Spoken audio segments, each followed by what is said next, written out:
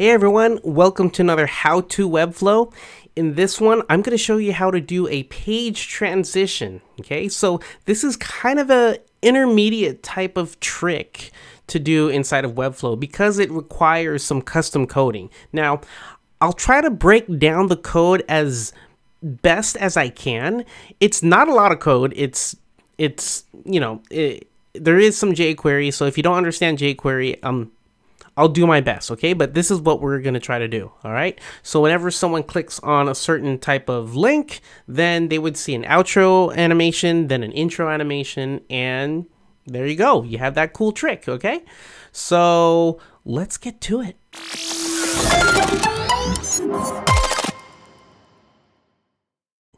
All right, here we go.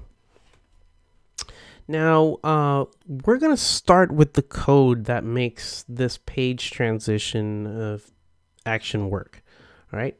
So when we put in code for the whole site, we're going to have to go to the project settings of the site, then click on custom code and scroll down to footer code. And we're going to copy and paste the script. I'm going to put the script in the um, in the description, in the YouTube description, so you can get it. But um, I'm going to I'm going to go ahead and explain what this all means, and and then we're going to go back into the designer. Okay.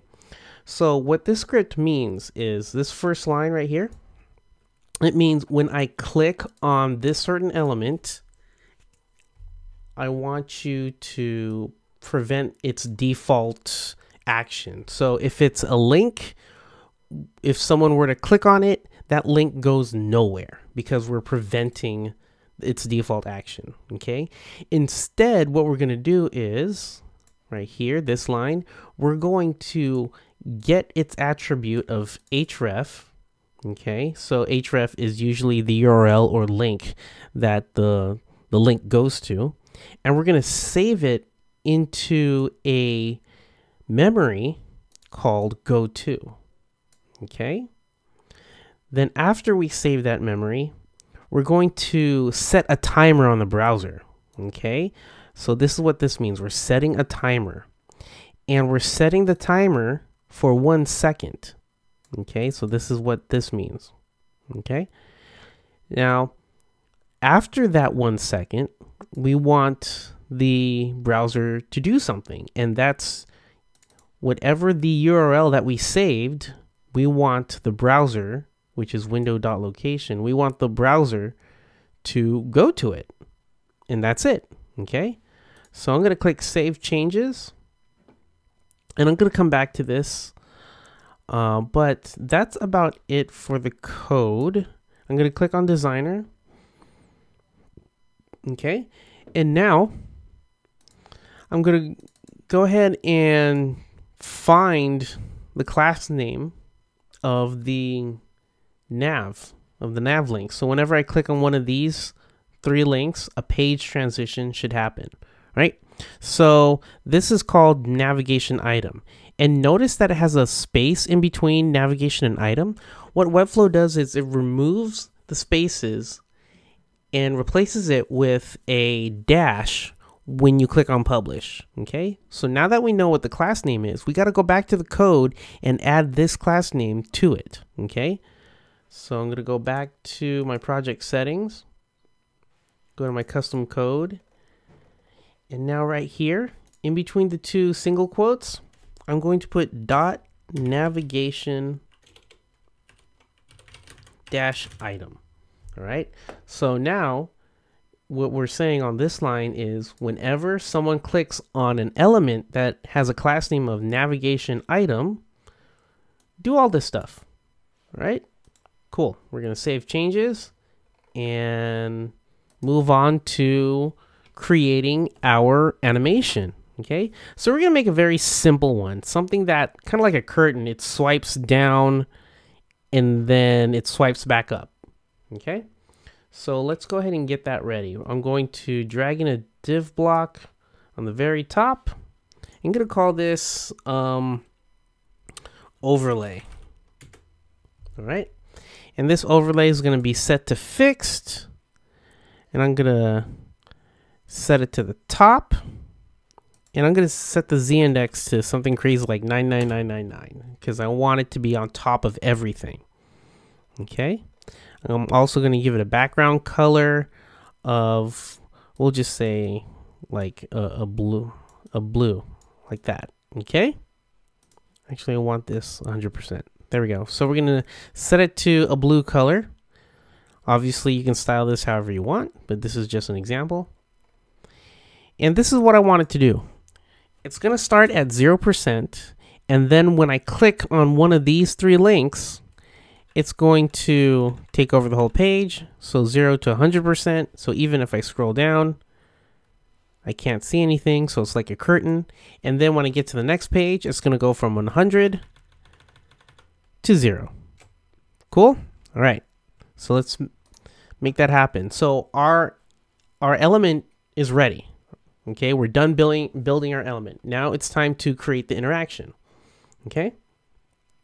Now what I'm going to do is I'm going to click on any of my navigation items and create an element trigger. I'm going to set it to mouse tap and start an animation. I'm going to create a new animation and I'm going to call it outro. And here's the thing.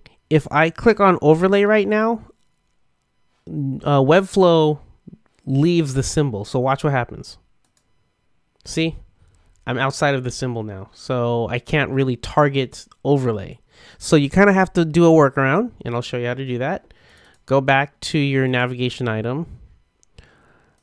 Go into your animation. And just set the transform or set the interaction that you want. So I was going to start it as uh, height 0%. Okay. But, oh, and set that as initial state. Okay. But I don't want to target navigation item. I want to right click and change target. And now I can click on overlay. And there we go. So now see, I clicked on that. I'm still in the symbol. So now I can keep working. All right. So I'm going to now click on the end and click size and the height is going to be 100%. Oop, I gotta make sure that it's on overlay. There we go. So I want it 100%. And let's set the duration for, for let's say 0.9 seconds. Okay. Because we set the uh, timeout, the, the timer for one second, I'm going to set this for 0.9 seconds. And I'm going to set the easing to in out quint. You can do whatever you want, but it's going to look like this. There we go. So now that this um, interaction is done, I can apply this same outro interaction to the other navigation items. So how I can do that is I can go back to the trigger and I can set this to trigger on any class name that has navigation item. So now this has it and this has it. Okay, so any class name navigation item has my outro interaction. Let's publish. Let's publish and test. Okay, so we're here. I'm going to click on about Nice. So I click on home. It's not going to work because we didn't add that um, overlay element to the other pages. So let's go ahead and do that. I'm going to copy this overlay, go to about, paste it, and put it to the top. And then same thing for the style guide page. I'm going to paste it, put it to the top, publish. And now this interaction should show up on every page. So I'm going to click on about. Cool. Go back to home. Cool. Go to style guide. Cool. So we're halfway there. Now we need to do the intro. Okay. So the intro, obviously, is just a reverse of the outro. So uh, what we can do is page trigger on page load. When the page finishes loading, start an animation. And I'm going to duplicate outro. Okay. And I'm going to call it intro instead. All right.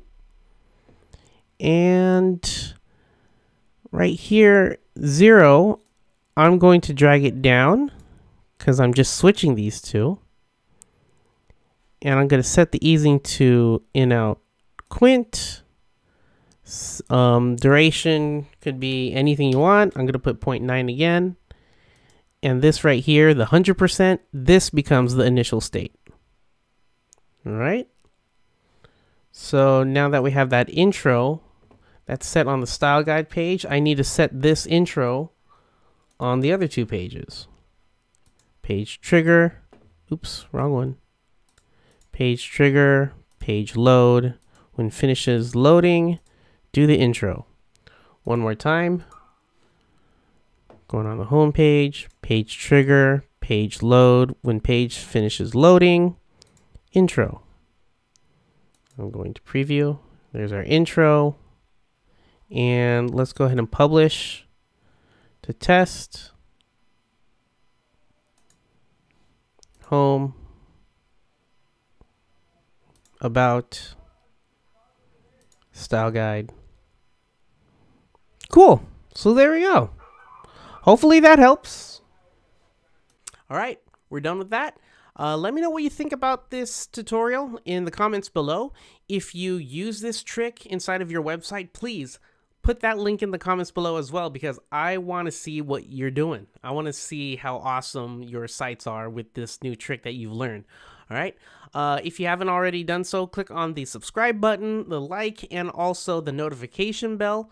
If you want to follow me on Twitter, it's at the Pixel Geek. Thank you all so much for your support and for watching these videos. Uh, let me know what else you want to see in a future video. Okay. Uh, besides that, thank you all so much. And as always, make the web beautiful together. See ya.